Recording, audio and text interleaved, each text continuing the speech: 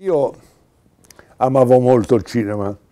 Nella mia città, Genova, il 20 settembre avevano inventato Antelitteram la multisala perché c'erano sette cinema sotto i portici, il 20 settembre da una parte, e sotto i portici, quindi anche se pioveva, ce n'era 4-5 dall'altra. E quindi andavamo, questo che dice, perché ci piaceva molto andare al cinema per me e per i miei amici. E, eravamo, e poi, vabbè, gigionescamente mi piaceva recitare, naturalmente come dilettante, naturalmente in certi circoli cattolici, oppure uh, in altre situazioni. Ero a, a recitare appunto un, come uomo corifeo, uomini e donne di tutto il mondo, aprite il portone, nel teatro Carlo Felice ancora semi bombardato, ancora un po' distrutto dalle bombe della guerra, siamo nel 1950, 70 anni fa, in platea c'era tra il pubblico un signore elegante, distinto, alto, che guardava lo spettacolo. Era talmente diverso che l'abbiamo subito in qualche modo notato. Al carar del primo sipario, poi eh, alla fine dello spettacolo questo signore appare di fronte a me e mi dice, qual è il tuo nome? Giuliano Montaldo. Giuliano, lo faresti l'attore con me? Sto facendo il mio primo film, Actum Banditi, qui in, a Genova. Beh, io sono frastornato da questa notizia, da, da spettatore il mio 20 settembre attore, poi proiettato ovviamente e devo dire sono così un po' costernato, però l'idea è brillante. Scopro, conoscendo poi Giuliano Cideneghi che era in qualche modo l'ideatore di questa impresa, la chiamo impresa più che film, perché dal Ministero era arrivata una censura preventiva che non si doveva fare quel film. Perché un film sulla resistenza nel 1950 basta, c'era la questione, c'erano proprio dei, dei diktat molto, molto, violenti, per cui non si trovava nessuna, nessuno disposto a finanziarlo, dei distributori, tantomeno altri produttori da consociare, da coprodurre incominciò un'idea straordinaria proprio da De Negri, una cooperativa produttori, spettatori cinematografici. Una cooperativa che doveva cercare la sottoscrizione per fare film. E c'è stata la cosa che mi ha veramente reso orgoglioso della mia Genova, perché dai portuali agli intellettuali, ai professionisti, a tutta, una, tutta Genova, in qualche modo, molte, moltissime famiglie, molti personaggi hanno preso le quote. Naturalmente non erano sufficienti per fare un film e naturalmente Lizzani da Roma ha portato non molte persone, due macchinini, macchinista, elettricista, i, i, i due per la direzione della fotografia di Palma e soprattutto il grande direttore della fotografia Gianni Venanzo. Anche Enrico Menzer, uno era di Pola, ma era venuto a Genova dopo i problemi che erano nati in quel paese, e si, si propose come, come, fotografo di scena, poi alla macchina da presa i fuochi e poi venne a Roma e cominciò anche lui una stupenda carriera. E da Roma arrivarono pochi attori, arrivò la loro Brigida, Gina, che non era ancora il mito, e, e pochi altri. Poi arrivò quello che aveva fatto il film di eh, Roma Città, no Roma Città Aperta, ah, la delle biciclette, e, e quasi nessun altro. E eravamo solo praticamente noi, genovesi.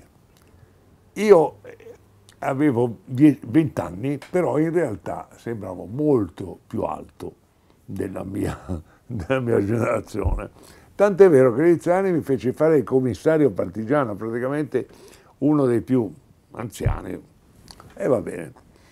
È stata un'avventura straordinaria, anche se lo shock è stato primo, uno dei primi giorni che vedevo quel set, e così, non, non clamorosamente ricco, ma insomma un po' di binario, un po' di lampade, allora le lampade erano, la pellicola bisognava, come dire, riuscire a farla incidere e quindi la luce c'era.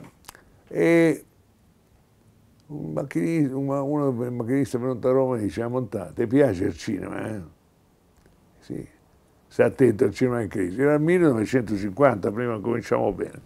Effettivamente poi quando ho deciso di provare l'avventura, dopo, quella, dopo aver girato anche a Roma qualche interno piccolo che mancava, dopo essere tornato a Genova ho pensato di provarci. E i miei, cioè di cinema sapevano molto poco, erano molto curiositi, ma poi quando videro il film erano anche un po' orgogliosetti e ho detto che voglio andare a Roma e ho detto una bugia. E non gli ho mai detto la verità, che avevo un contratto, non avevo niente. E allora avevo pochi soldi eh, eh, da parte.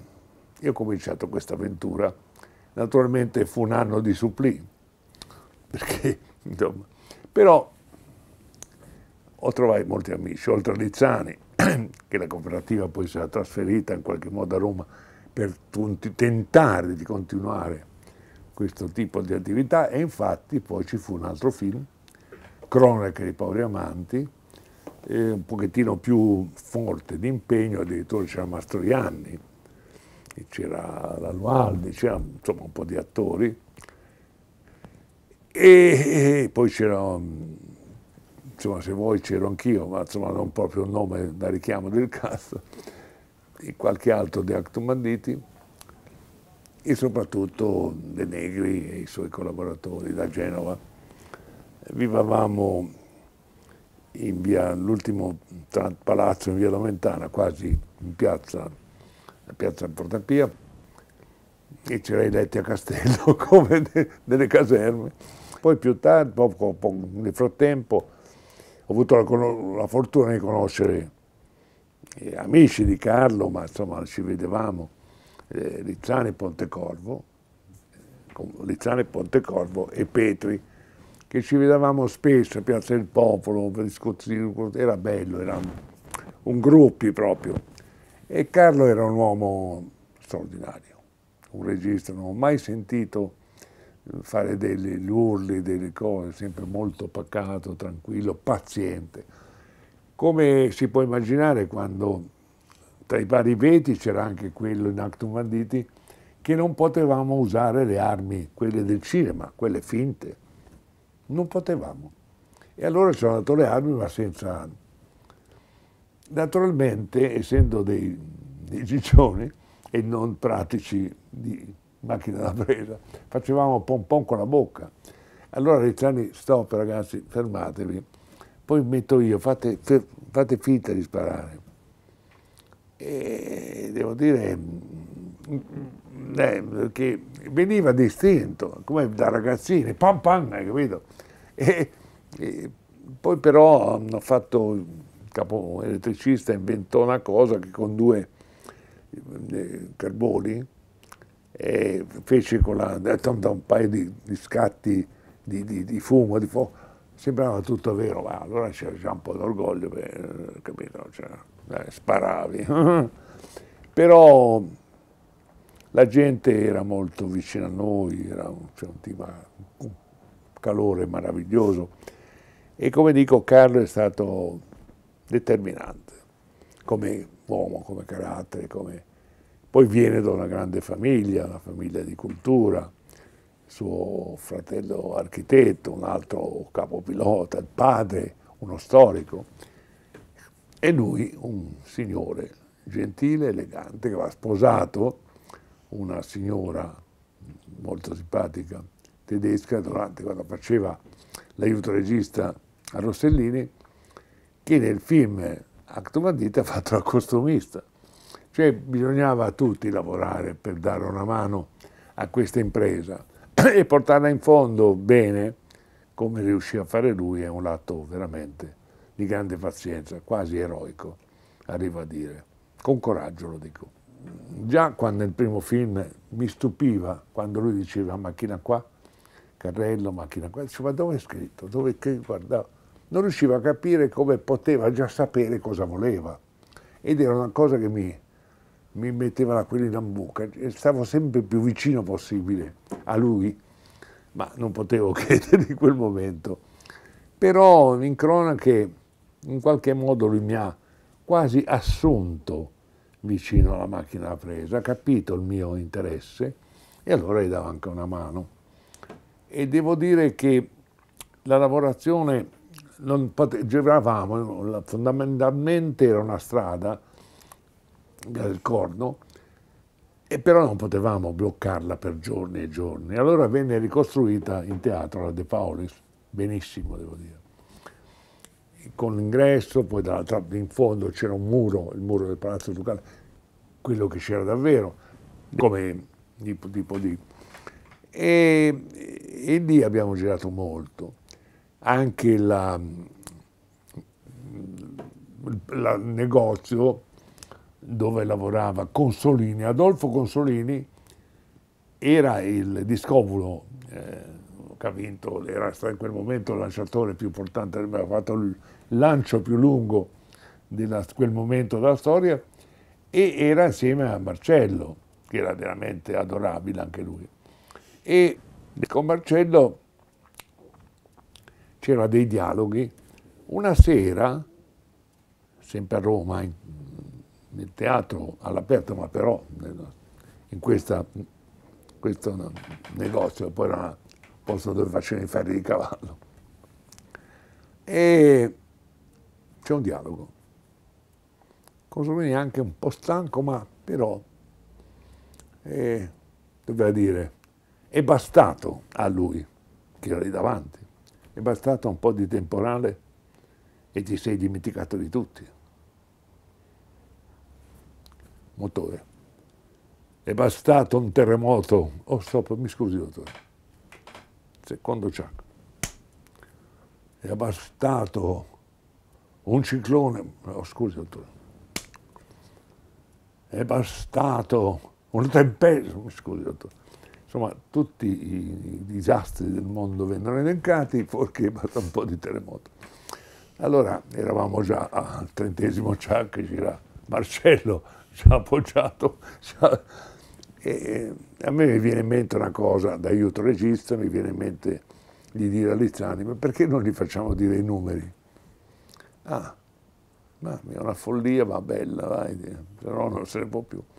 Allora lo porto fuori nel teatro, camminiamo un po', lui era disperato per la verità, molto... E prova a dire 1, 2, 3, 4, 5, 6, 7, 8, 9, 10. E cosa dice il dottore? Mi ha detto il dottore di dirtelo. Allora entriamo dentro, vedevo che lui Andiamo dentro e azione 34 e basta 1, 2, 3, 7, 18, mi scusi dottore, stop, di da te Giuliano, ho detto io la battuta fuori campo sulla faccia di Marcello. Ma però era un uomo molto simpatico. Quel giorno era andato in tilt, ma succede.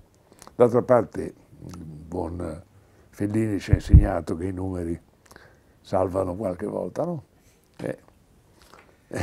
Sotto dette bandiere era, Lizzani era stato chiamato per fare la seconda unità perché il film aveva avuto dei problemi, un brutto tempo, eccetera, eccetera, era un po' in ritardo, per cui il regista, d'accordo con De Laurenti, il produttore, accettò l'idea che Lizzani girasse in teatro una parte della nave che era stata costruita in teatro e, e quindi va bene, eccetera. Io mi chiama come aiuto, anche in Esterina mi chiamò poi come aiuto, suo altro film che fece con la Gravina. E io felicissimo, eravamo alla vasca navale, eccetera, eccetera, cominciamo, dopo, dopo due o tre giorni di lavoro arriva una telefonata al mattino, mi chiamano, non c'erano i telefoni, mi chiamano, sono Carlo, non sto bene, ho un po' di temperatura. Ah, e allora dillo, dillo che non posso venire, diglielo. Vai tu, Gigi, ciao, dillo. Vado in teatro, il di produzione. Lizzani non può venire, c'è un po' di febbre tutta la troupe. Eh. Allora prendono un pallone, fanno fuori toc toc, mentre si apre una finestra, un urlo inumano. De Laurenti, ma che è stata a fare? Bruno sparisce la palla, il direttore di produzione corre su e Lizzani sta male. Ma non c'è un aiuto regista, eccetera, eccetera. Gira lui. Mm, avevo 24 anni e dovevo dire motore. E come faccio? Eh, mi ricordo cosa aveva detto Carlo nel telefono sempre, ma io se mi dicono di girare, ah perché lo chiamo subito, mi hanno detto che devo girare io, cosa faccio Carlo? Quello, ti ricordi quello che ho scelto l'altro giorno, quell'attore? Lui è un ebreo, lo, ah sì sì, quando insultano e lui reagisce, ecco, comincia così, poi poi mi chiami, cioè, carrello, voglio il carrello. La prima volta che giro metto il carrello e faccio macchina fissa, non ho capito. E tutta la truppa intorno, solidale, mettiamo un carrello, arriva questo attore e dico, senta, lei viene insultato, mi fa, lo so, e quindi lo guarda, non dice nulla, scatta in avanti, io lo precedo con la macchina da presa, scatta in avanti, prende, lo lascia, che è qua, la prende, smettila se no io, va bene? Non capisco, mi dice, perché devo andare là, perché lascia non è qua vicino a me, la vedo e la prendo, è più, ma no scusi, io non ho capito, allora gliela ridico, tanto la truppa, lei scatta avanti, sì, ma continua a non capire perché lascia qua e non è là e non qua. Adesso glielo spiego perché se la prendo e gli ha spianto in fronte. Va bene, lascia là. Ok, perfetto. Giriamo prima e seconda, benissimo, perfette. Mettiamoci in campo. Come si chiama? Gian Maria Volontè, io Giuliano Montaldo. Era la prima volta che ero davanti alla macchina presa, lui, la prima volta che dicevo motore io ci siamo conosciuti così. Quando abbiamo lavorato insieme, appena mi faceva girare un po' le scatole, facevo così, e lui faceva mm, e, e, non avevamo più niente da dirci. Parlavamo di tante cose, poco di politica perché eravamo coordinati, cioè voglio dire, io non mi sono mai iscritto, non ho avuto mai nessuna tessera di partito, forse perché ho ho dato retta a un certo Zavattini che mi disse ricordati di essere un compagno libero, se ti fanno arrabbiare devi dirlo tranquillamente, se non ti fanno arrabbiare sii felice.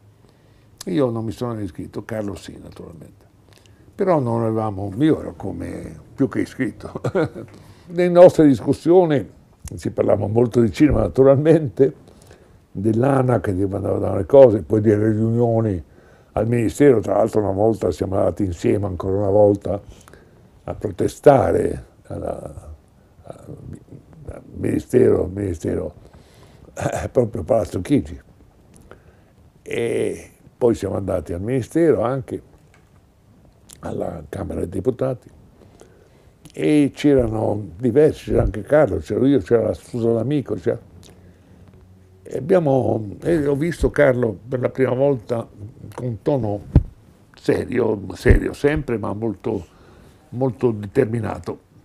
Uscendo, quando siamo usciti, vedo, vediamo Carlo io che la signora sullo ciechi eh, sta per crollare. Tom, io la blocco, Carlo è vicino. E cosa succede? Ah niente, mi sta passando mi è venuto in mente che quattro anni fa ero qua a chiedere le stesse cose, perché succede sempre così. Chiediamo sempre di aiutare la cultura, di aiutare il cinema, che può essere e deve essere cultura. Dopo una crisi che ha avuto il Festival del Cinema di Venezia, dopo una crisi seria, con manifestazioni, eccetera, viene indicato e scelto Carlo Rizzani. Devo dire che ha rimpiantato tutto lo staff e tutto in maniera straordinaria. Lo ricordano veramente con affetto sia lui che poi più tardi anche Pontecorvo. Quando lui era presidente della, della, de, de, de, del premio Festival di Venezia, io non ero ancora presidente di Recinema perché sono diventato presidente di Recinema nel, mille, nel 2000 esattamente, infatti si chiama eh, 2000. E devo dire che molti hanno, diciamo, non ha mai, guardi, dico la verità, non ha mai cercato di dirmi Giuliano, guarda sto copione, aiutami a fare questo film. Mai. E questa è un'altra cosa che, di, che disegna in maniera straordinaria il personaggio. Stava cercando, so, dei distributori, dei produttori, ma non è venuto a dirmi, parla un po' con gli altri, senti un po' se questo film piace, niente. E, però lui, direttore del Festival di Venezia, eh, lo ricordano, ancora ultimamente ne, abbiamo, ne, ho parlato proprio con Barbera e, e devo, dir, devo, dirti che ha lasciato anche nei veneziani, eh, non solo nella gente del festival, un ricordo bellissimo, perché era soprattutto un signore, educato perfettamente, che educava gli altri. è magnifico, magnifica persona. Dopo Lizzani, sì, mi proposero, di, mi proposero a me Devo dire che io ero da un po' di tempo un po' angosciato dall'idea che il Festival di Cinema Venezia nacque prima della guerra con, con i, i, i, signori di, di, Venezia per quando nel cinema del mondo le, i, le case di produzione erano 10, 12. E allora era Festival di Cinema mostra del cinema, non festival. E, e si presentavano alcuni film, quelli che c'erano. Ultimamente, già quando me l'hanno proposto a me, i film erano un centinaio. E quindi vedevo, anche più, vedevo dei ragazzi che facevano proiezione alle due di notte e poi andavano a dormire sotto una tenda. E non può essere così. Allora dissi, io ci sto, possiamo fare due cose la mostra del cinema di Venezia, con una ventina di film, selezionati attentamente, e a Genova, nello spazio enorme quel cinema che c'è al porto, invece quell'altra, molto più, dove c'è, magari inventiamo degli altri film. Anche perché a Genova non è che è la mia città, ma c'è il posto per dormire, il posto per mangiare, il posto per... mentre invece lì diventa poi me l'ha detto una follia, allora ho detto anch'io, non voglio fare follie neanch'io, quindi ho lasciato. Ma non era brutta l'idea. C'è stato Marco Polo l'abbiamo messo in prigione a Genova, eh, riscattiamolo. Con Carlo ci siamo sentiti sempre, tutta una vita. E poi a Finesterino ho lavorato con lui come aiuto. E poi le sue imprese l'ho seguite, ma intanto anch'io, anche col suo sostegno, avevo cominciato la mia faticosa carriera in questo mestiere, che è molto ma molto precario, sai certamente quando finisci, non sai mai quando incominci, e comunque insomma sono arrivato dopo 70 anni di cinema, da Actum Banditi a oggi, adesso ho tirato giù la serranda ed è ora di dire grazie, basta. Giuliano, c'è stato un momento in cui hai detto a Carlo, Carlo, voglio fare anch'io il regista come te? No, come me no, come te non ho mai osato. E lui aveva capito che io voglio fare il regista, ha capito da come mi muovevo, dai suggerimenti. In Esterina soprattutto eravamo molto, sempre più legati. E poi quando avevo qualche idea, poi lui è venuto, prima abitava su, in, eh, Monte Mario. Poi è venuto ad abitare addirittura a 200-300 metri da qua, da me. Alla mattina alle 10 di mattina della domenica ci vedevamo dal giornalaio, un appuntamento ormai rituale. Il dolore più grande di questi nostri appuntamenti è stato che ero fuori da un po', ritorno a Roma. Ciao Carlo, ci vediamo domenica? Sì. Non è venuto quella domenica. E io ho pianto. È partito un grande uomo, un grande personaggio, un uomo generoso, mm, di una gran classe, che non poteva anche più il dolore di vedere la moglie che stava molto male e quindi non ce l'ha fatta. Voleva, voleva fare ancora dei film. Io lo spronavo anche, però insomma piaceva sempre dei film che oggi è sempre più difficile portare avanti. Più passa il tempo, più è così. Era un grande intellettuale e non dimentico appunto quello che scriveva, quello che insegnava, quello che diceva. Io ero sempre a pendere dalle sue labbra, era indubbiamente un grande maestro. Lì ho, ho sentito anche il vuoto intorno a me, perché quando avevi un amico così importante, uno che ti ha tenuto a battesimo, uno che... E sono tutti e tre quelli che mi hanno tenuto a battesimo che sento Parlo di Petri, parlo di Rizzani e parlo di Pontecorvo. E poi sono tanti altri. Alle volte mi sento molto, ma molto solo. Però, grazie amici cari, penso sempre con amore.